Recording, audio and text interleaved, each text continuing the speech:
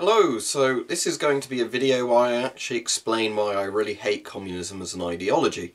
Now, I'm sure this is going to piss a lot of people off and I'm not going to apologise for it because um, for some reason a lot of my subscribers seem to think communism was great when it really wasn't.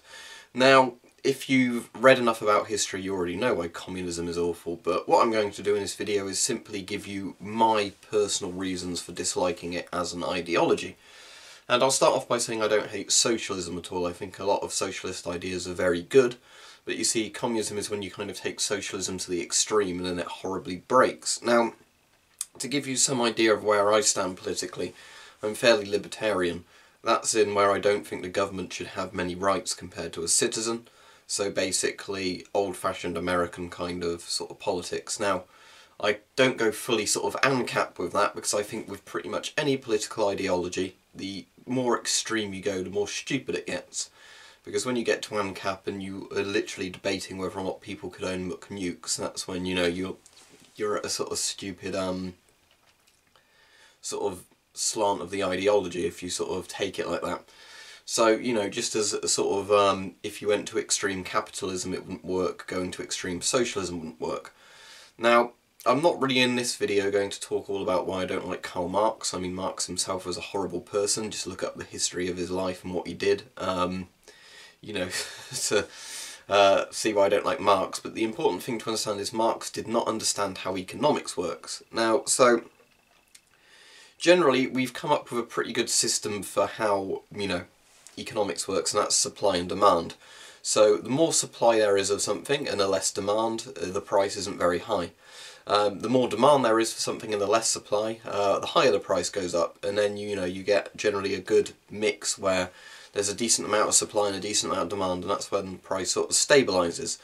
Marx, however, considered that basically an item was worth what somebody, had, the amount of effort they put into it. So rather than what somebody's willing to pay for an item, it was the sort of effort that went into it. So let's say you have two people making a chair. You've got one carpenter and like one carpenter and another carpenter. Uh, carpenter, carpenter. There we go. Um, the carpenter that um, basically takes longer to make that chair, even if it's not of a higher quality, um, that chair is worth more money.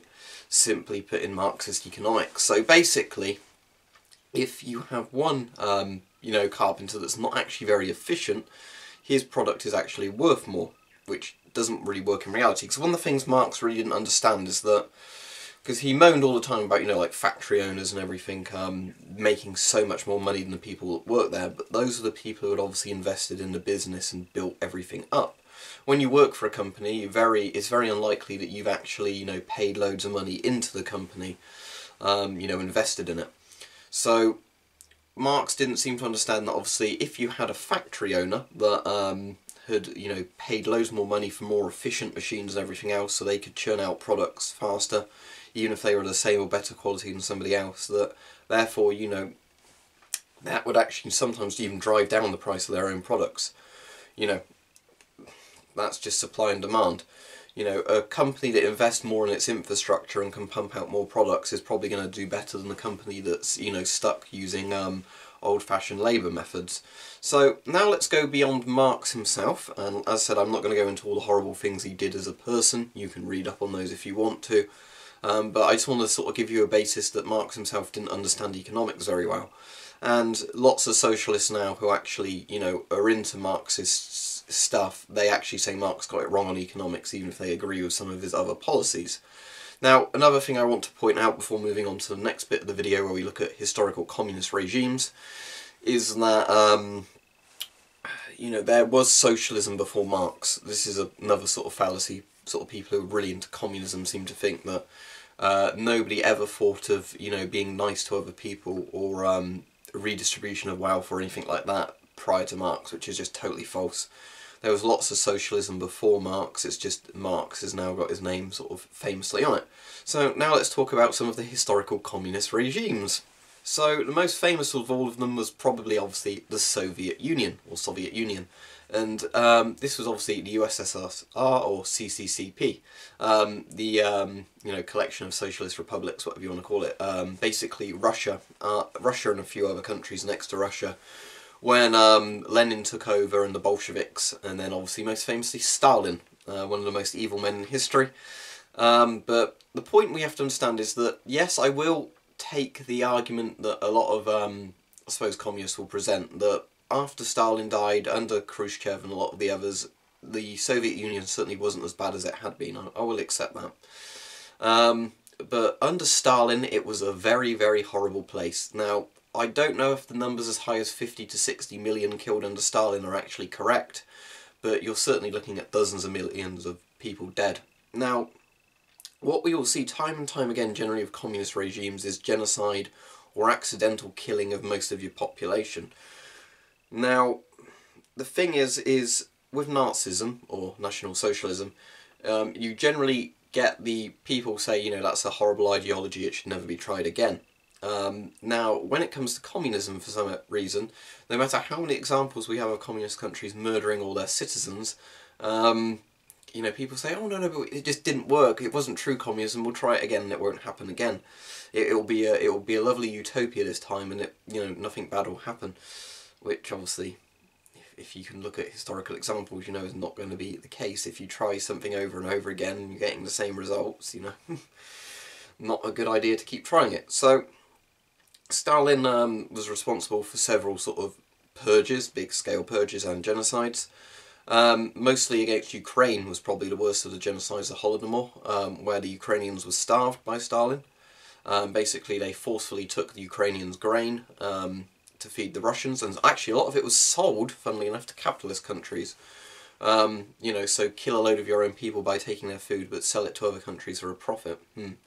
Um, but that was one of the uh, main things. Now, it's debatable whether or not that was actually sort of um, a genocide specifically target against Ukrainians because of a hatred for Ukrainians, or whether or not that was just the unlucky people that were, you know, the victim of it. But regardless, many of them were murdered by a communist regime. So, obviously, as I said, Stalin, there was obviously all the terrors under Stalin as well, of, you know, people from different groups that were then selected to be killed because, oh, they must be working against me because Stalin was paranoid. Um, so, as I said, it, the Soviet Union was certainly better under Khrushchev, probably not a nice place to live, but I will admit the points that, you know, one of the good things about some of the communist regimes is that pretty much everybody had a job and there was low crime rates in regard to at least sort of petty street crime kind of things because everybody was so scared of the state. So, and yeah, one of the points I will certainly give, give is that, you know, the prefab massive housing block kind of buildings at least gave people um, places to live, which is one of the problems we see in a lot of um, Western countries now where housing is just becoming horribly unaffordable because not enough of it is being built and everything else. So I'll give them that. Um, then obviously we have Communist China with um, Chairman Mao, um, probably responsible for just as many deaths, if not more, than Stalin, um, with you know the Red Guard and everybody else um, doing all the purges for him and massive starvation. You see, with communism you have two ways that people are killed. They're either killed deliberately by the state or they're killed accidentally by the state. And I don't know why either of those would make this a good system of government. But with deliberate killing by the state, what you have is obviously when the state decides it's going to kill people for the sake of killing people because it wants them out of the way or whatever else. Accidental killing is where the government policy is so stupid that people die because of a result of that. So with Mao you had a lot of the mass starvations where um, people were moved, you know, to do different things that they weren't trained to do, like peasants being told to basically make steel and things like that. Um, you know, not enough farming was being done anymore. There's lots and lots of reasons why, um, you know, the starvation happened in China. One of them was that Mao basically ordered all of the birds killed because they were eating the grain um, but they were actually eating the insects that ate the crops. So then when you killed the birds, the insect population exploded, ate all the crops, people starved. Hmm. So again, we've got both Stalin and Mao that are probably adding up to over 100 million people killed at this point, if you're going on their high number of estimates. So that's more than the amount of people killed in the entirety of World War II, including the Holocaust killed by two communist regimes. That's, this isn't good numbers already, is it? Um, but then you've got Pol Pot in Cambodia, who also managed to kill something like a third of his country off um, because he decided to start from the year zero and to kill every intellectual in the country because they were obviously the people holding the country back. Oh dear. Um, and there were countless other communist regimes of horrible human rights abuses. Um, Ceausescu in um, Romania, um, you know, probably Castro in Cuba as well. Now, I will give, you know, as I will, where credit is due, I will say that some of these countries had horrible regimes to begin with, so they went from one ideology to communism, and maybe the communism was just as bad, you know, even if it wasn't worse, it was just as bad as what came before it.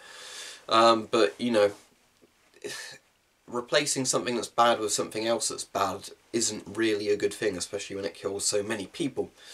But the main point I want to get across in this video is I can't understand the mentality of people who look at a system of government that has systematically committed human rights abuses in the 20th century, probably killed more people than everything else put together. Um, and then they say, yeah, let's try that again. No, no, no, you're stupid or you're a heartless person because you don't want to try communism. Well, it was tried a lot of times and it went horribly every time.